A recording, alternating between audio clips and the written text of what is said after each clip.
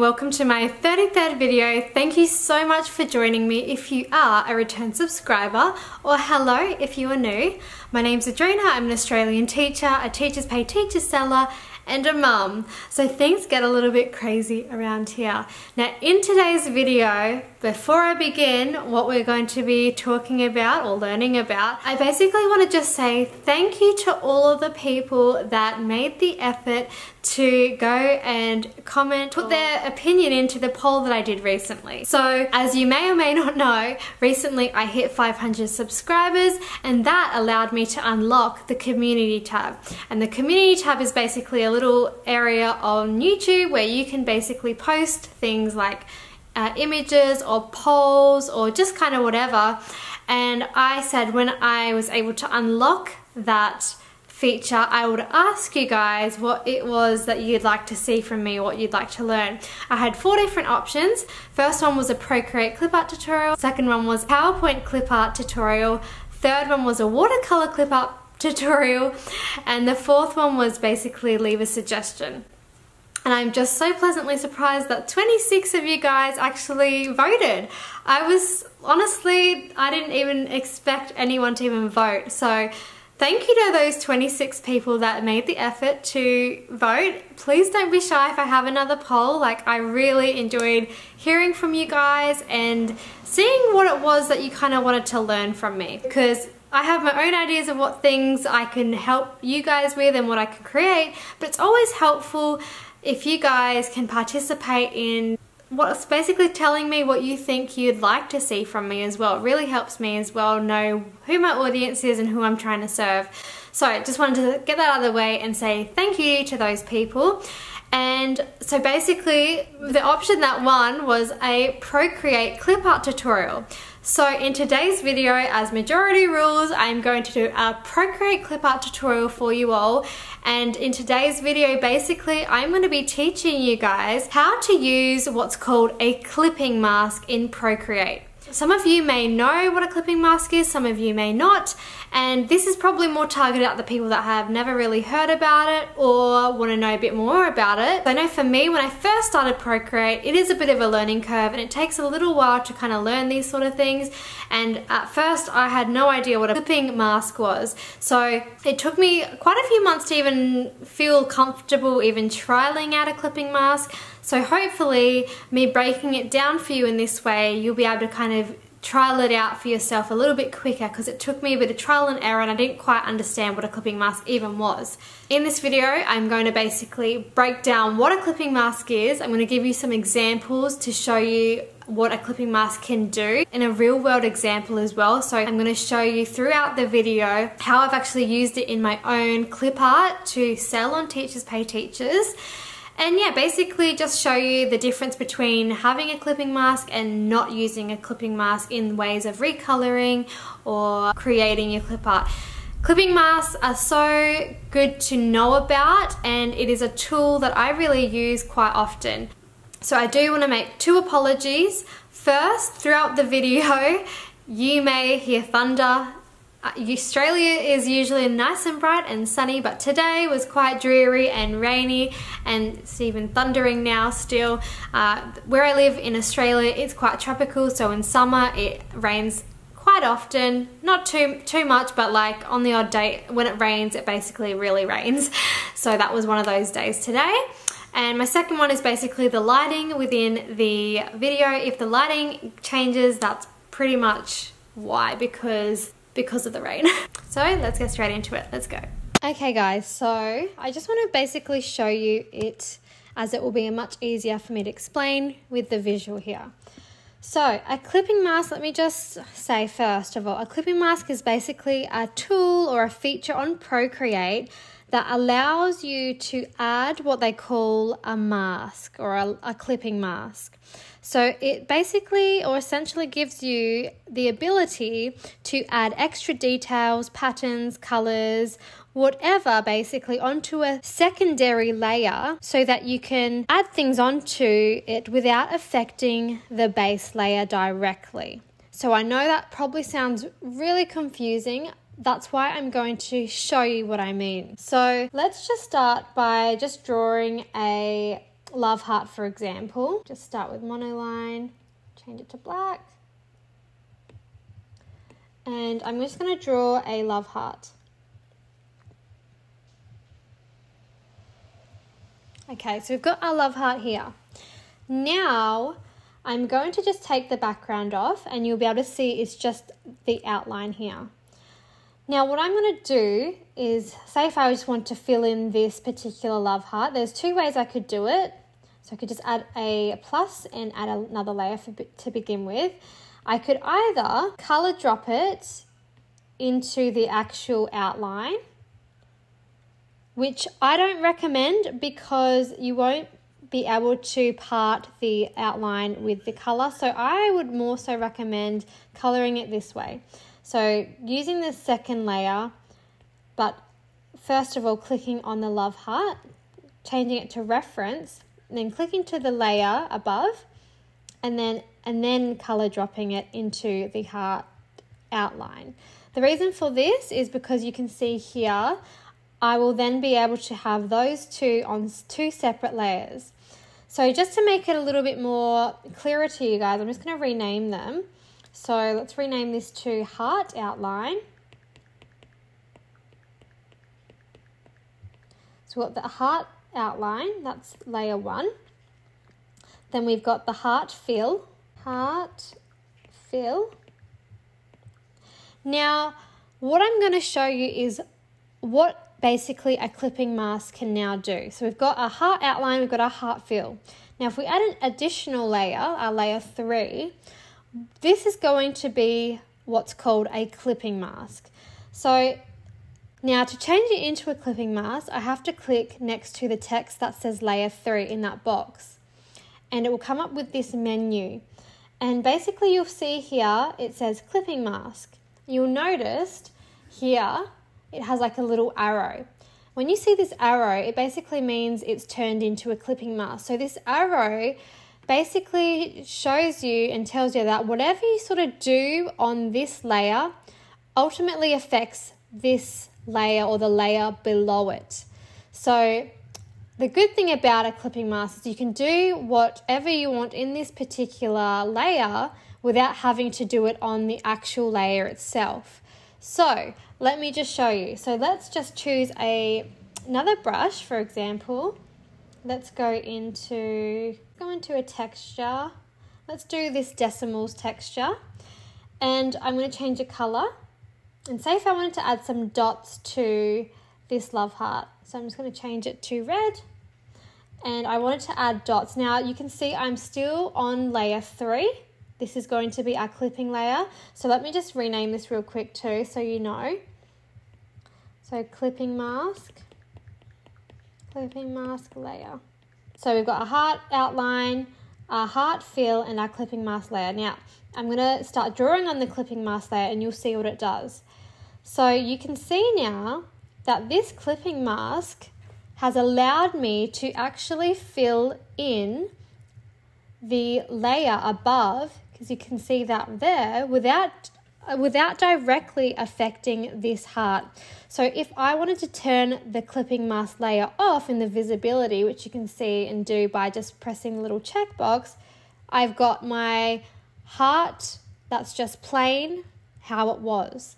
If I wanted to add that on, I can add it on again. So the really good thing about this is the fact that you can kind of separate each layer so then it's easier for you to create work that is not that you're not having to try and refix or it's easier also to recolor things and it's just it's just a really good tip and a good thing to know when you're actually in your workflow to create clip art.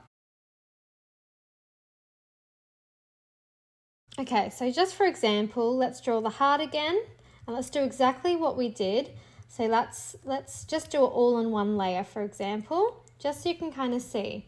So if I was to fill this in and then I wanted to add a texture to it, say I wanted to add those spots again, and I wanted to do that, you can see that on one layer it's not allowing me to. And now I've just got this whole image that is all stuck together. So having the layers and having the clipping mask really allows you to separate basically each layer so it's easier for you to see and for you to work with. Okie dokie, so basically I just want to show you how I'm using this in a real world context. So as you can see, I've created a few different styled question marks that I have put up for sale and for free. This particular set here with the stripes has been uh, I put as a freebie on my Teachers Pay Teachers store. Okay, so just a little behind the scenes of this particular question mark. If I go into layers, you'll be able to see that I've used a clipping mask right here. So if I took the clipping mask off, I've just got basically a plain old, plain old black and white question mark. Now, what I'm going to show you here too is a way that you can actually recolor your image using a clipping mask. So let's just delete that one. So I have the clipping mask here. So if I swipe on the layer and I duplicate it, so I've clicked on duplicate, you'll see that another one comes up. Now what I can do is I can click this little box here so I can actually turn it on and off this particular layer. So I've just turned that one off so you can see it's not checked there. And what I'm going to do here is with this one that I have got selected, I can change the coloring. So if I go here to the adjustments panel and I go to hue, saturation and brightness, I can then move the slider down here where it says hue and I can change it to sort of what I like. So let's just say that for example, I can click off just by clicking there again.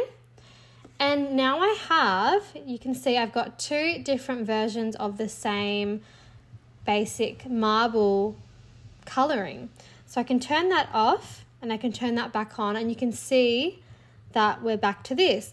Now, it's really good to have these clipping masks because it saves you so much time in the recoloring process. You're able to recolor something and you're able to basically create works without having to affect the layer as such.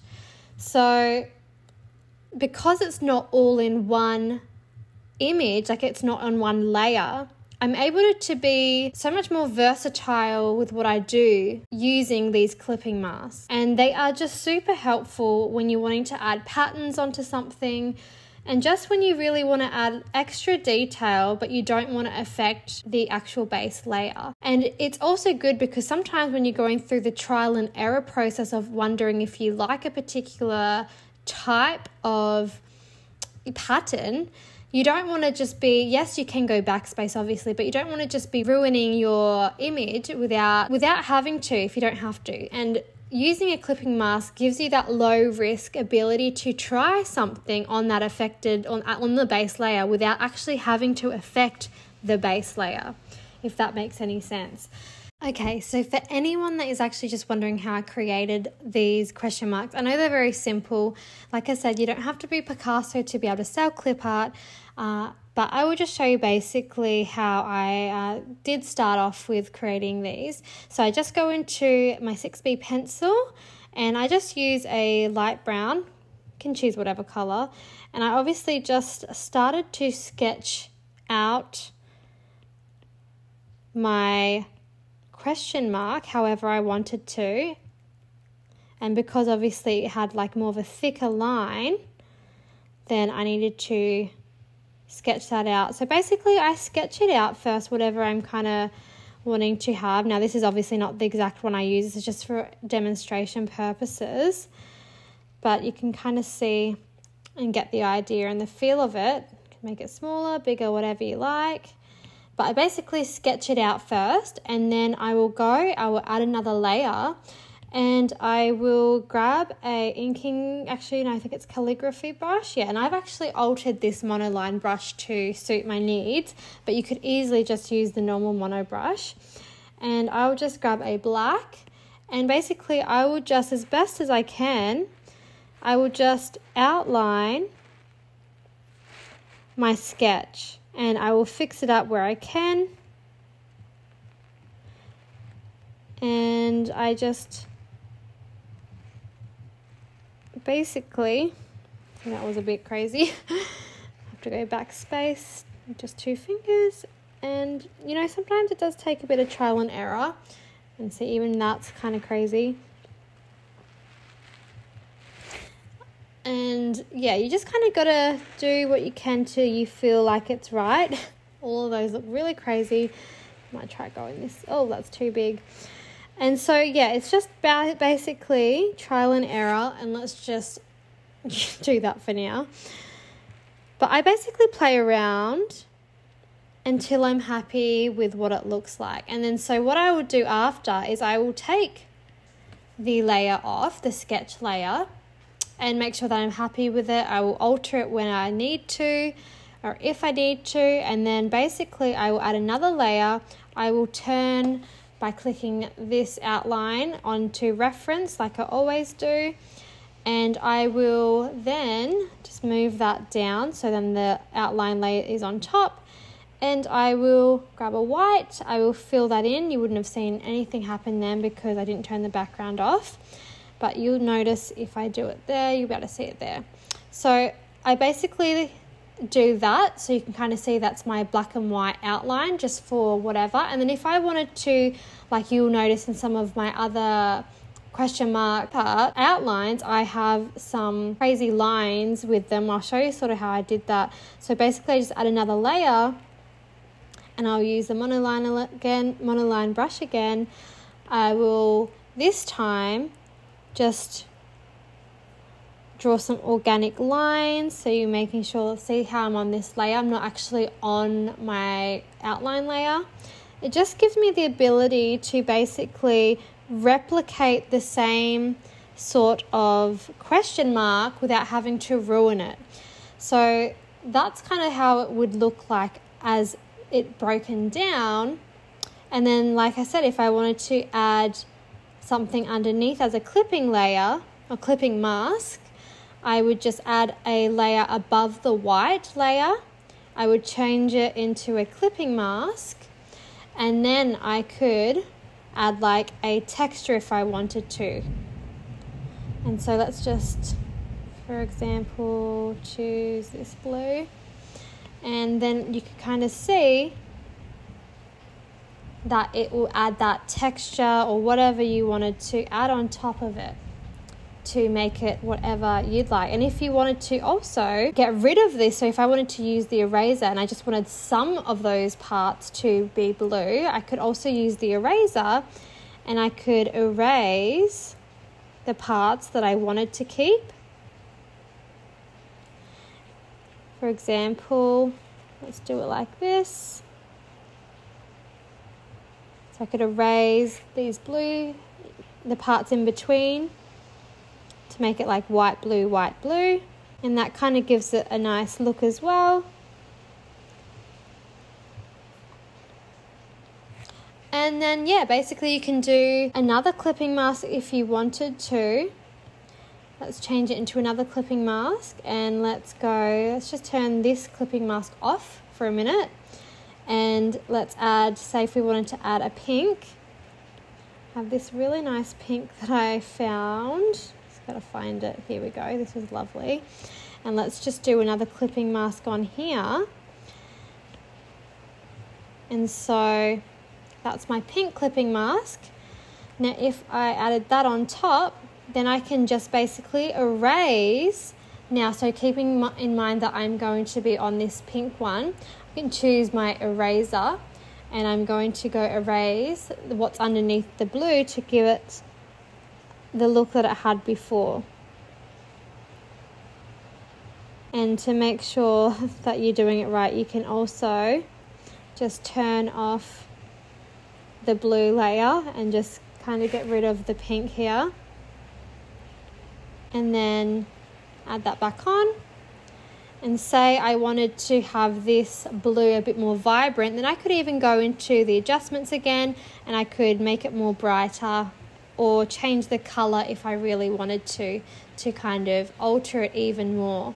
So that just went backspace just to keep it back on that blue. But that's basically how I have created those and I hope that this was really helpful for you because I know when I first started clipping masks and just things on Procreate were a bit confusing to me so I hope this has cleared up any kind of understanding towards clipping masks and maybe you are now feeling a bit more empowered to actually trial it out for yourself.